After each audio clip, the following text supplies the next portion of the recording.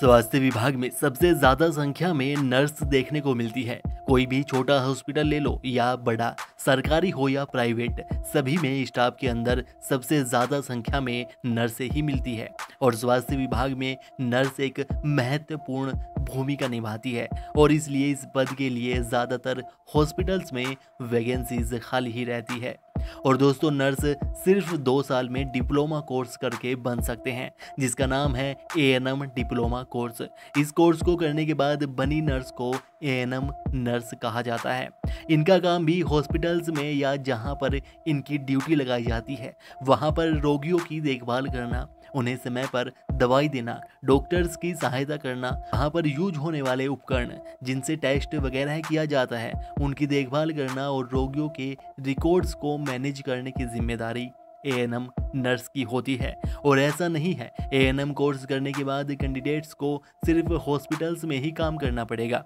और भी बहुत सी अपॉर्चुनिटीज़ हैं, और भी बहुत सी नौकरियाँ हैं, जिन्हें एएनएम कोर्स करने के बाद किया जा सकता है। और यहाँ तक कि सरकारी एएनएम भी कैंडिडेट बन सकते हैं। इन सब के बारे में अभी थोड़ी ही देर में हम विस्तार से बात करेंगे। उससे पहले जान लेते हैं कि आखिर ए एन एम कोर्स क्या होता है कौन कौन इसे कर सकता है, इसका सिलेबस क्या होता है, आदि सभी कुछ।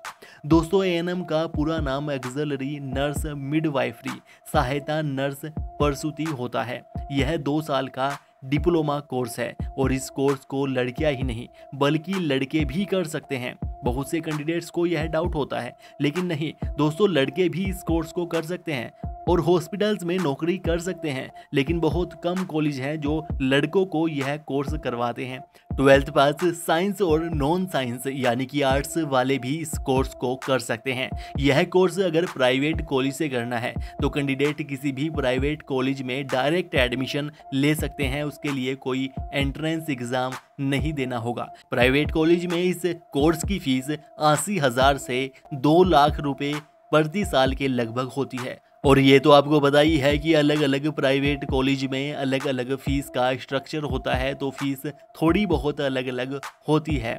लेकिन अगर कैंडिडेट सरकारी कॉलेज से एएनएम का कोर्स करना चाहता है तो उसे एक एंट्रेंस एग्ज़ाम देना होगा, जो सभी राज्यों में अलग अलग होता है। इस एग्ज़ाम में ट्वेल्थ लेवल के life science physics mathematics English general knowledge और लॉजिकल रीजनिंग विषयों से 100 नंबर के प्रश्न पूछे जाएँगे। और आपको बता दें कि अलग अलग राज्यों के हिसाब से यह सिलेबस भी थोड़ा बहुत अलग अलग हो सकता है। तो इस एग्ज़ाम को पास करने के बाद नंबरों के आधार पर मेरिट लिस्ट तैयार की जाती है। और फिर मेरिट लिस्ट के आधार पर कैंडिडेट को सरकारी कॉलेज दिए जाते हैं। सरकारी कॉलेज में इस कोर्स की फ़ीस पचास हज़ार से पैंसठ हज़ार रूपए प्रति साल के लगभग होती है और सरकारी कॉलेज में स्कॉलरशिप भी कैंडिडेट को दी जाती है। इस ए एन एम कोर्स का प्राइवेट हो या सरकारी कॉलेज, सिलेबस सभी का समान ही होता है। इसके पहले साल में community health nurse health promotion child health nurse primary health care nursing विषय पढ़ने होंगे। जबकि दूसरे साल में midwifery child health community health and health centre management आदि विषय पढ़ने होंगे। इसके साथ ही कॉलेज में कैंडिडेट को प्रैक्टिकल भी समय समय पर देने होंगे। तो दो साल का ANM कोर्स करने के बाद या तो कैंडिडेट किसी प्राइवेट हॉस्पिटल में ए नर्स का काम कर सकती है। जहाँ पर प्रति माह पंद्रह हज़ार से बीस हज़ार रुपए के लगभग उन्हें वेतन मिल जाता है।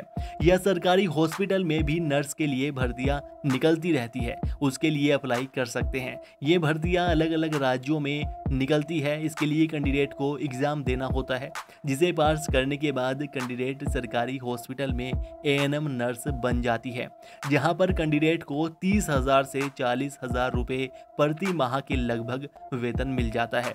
और यह वेतन भी अलग अलग राज्यों के हिसाब से कम या ज़्यादा हो सकता है। और अगर कैंडिडेट हॉस्पिटल में काम नहीं करना चाहता या चाहती तो उनके लिए और भी बहुत सी अपॉर्चुनिटीज़ है और भी नौकरियाँ हैं जो वे कर सकते हैं। जैसे मेडिकल लैब में नौकरी कर सकते हैं, नर्सिंग कॉलेज में टीचर बन सकते हैं, nursing tuition teacher, nursing assistant, home care nurse आदि काम कर सकते हैं और इन काम में, इन जॉब्स में भी कैंडिडेट अच्छा पैसा कमा सकते हैं। तो दोस्तों, एक तरह से देखा जाए तो अगर आप मेडिकल डिपार्टमेंट में जाना चाहते हैं तो यह कोर्स अच्छा है, क्योंकि यह सिर्फ़ दो साल का कोर्स है, जिसके बाद कैंडिडेट किसी भी प्राइवेट हॉस्पिटल में नौकरी कर सकता है और प्रति माह पंद्रह हज़ार से तीस हज़ार रुपए के लगभग कमा सकता है। तो दोस्तों, इससे संबंधित अगर आपका कोई सवाल है, कोई जानकारी आपको चाहिए तो आप हमें नीचे कमेंट करके पूछ सकते हैं। इस वीडियो को अपने दोस्तों में शेयर ज़रूर कीजिएगा, जो कि मेडिकल डिपार्टमेंट में जाना चाहते हैं या जिन्होंने ट्वेल्थ कंप्लीट कर ली है और आगे कोई बढ़िया सा कोर्स करने की सोच रहे हैं। और दोस्तों, वीडियो को लाइक कीजिएगा और चैनल को सब्सक्राइब भी कर लीजिएगा।